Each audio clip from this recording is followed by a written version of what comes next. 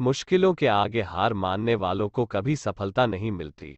जो इंसान विषम परिस्थितियों का डटकर मुकाबला करते हैं, वही ज़िंदगी में सफल होते हैं और उनमें से कई तो इतिहास रच देते हैं। ऐसे ही एक व्यक्ति थे लुई ब्रेल जिन्होंने दृष्टिबाधिता को अपनी कमज़ोरी नहीं बनने दिया, बल्कि उस पर विजय पाने के लिए एक ऐसी विधि का आविष्कार किया जो उनके जाने के बाद भी दृष्टिबाधित लोगों को नया रास्ता दिखा रही है। जी हाँ आज हम बात कर रहे हैं ब्रेल लिपि और उसके जनक लुई ब्रेल के बारे में।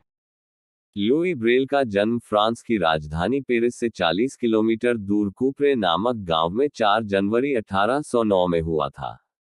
लुई की माता मोनिक ब्रेल एक घरेलू महिला थी और पिता सायमन ब्रेल घोड़ों की जीन बनाने का एक कारखाना चलाते थे। लुई चार भाई बहनों में सबसे छोटे थे। जब लुई ब्रेल महज तीन साल के थे, तब एक दिन खेलते खेलते उन्होंने जीन के लिए चाकू से चमड़ा काटने का प्रयास किया, लेकिन चाकू आँख में जा लगा और लुई की एक आँख हमेशा के लिए दृष्टिहीन हो गई। उस आँख में हुए संक्रमण की वजह से कुछ दिनों बाद उन्हें दूसरी आँख से भी दिखना बंद हो गया और वे पूरी तरह दृष्टिहीन हो गए।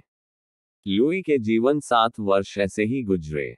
लुई के साथ अच्छा यह हुआ कि 9 साल की उम्र में एक नेक महिला उनका दाखिला पेरिस स्थित royal institute for the blind school में करवा दिया। उस स्कूल में वेलेंटीन हो द्वारा बनाई गई लिपि से पढ़ाई होती थी, पर यह लिपि अधूरी थी।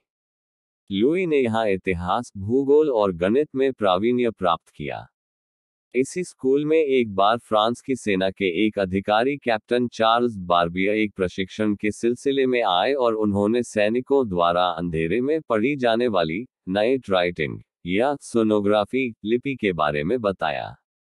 यह लिपि कागज़ पर अक्षरों को उभार कर बनाई जाती थी और इसमें बारह बिंदुओं को छह माइनस छह की दो पंक्तियों को रखा जाता था, पर इसमें विराम चिन्ह, संख्या, गणितीय चिन्ह आदि का अभाव था। प्रखर बुद्धि के लुई ने इसी लिपि को आधार बनाकर बारह की बजाय मात्र छह बिंदुओं का उपयोग कर चौसठ अक्षर और चिन्ह बनाए। मात्र पंद्रह वर्ष के उम्र में लुई ने यह लिपि बनाई। बाद में लुई ब्रेल को उसी विद्यालय में शिक्षक के रूप में नियुक्ति दी गई। व्याकरण, भूगोल, गणित में उन्हें महारत हासिल थी। लेकिन अच्छा काम करने वालों को शुरुआत में अक्सर उपेक्षा का सामना करना पड़ता है। लुई ब्रेल के साथ भी यह हुआ। उनके जीवन काल में ब्रेल लिपि को मान्यता नहीं मिली। सन अठारह सौ इक्यावन में उनकी तबीयत बिगड़ने लगी और 6 जनवरी अठारह सौ बावन को मात्र 43 वर्ष की आयु में उनका निधन हो गया। उनकी मृत्यु के 16 वर्ष बाद सन अठारह सौ अड़सठ में royal institute for blind youth ने इस लिपि को मान्यता दी।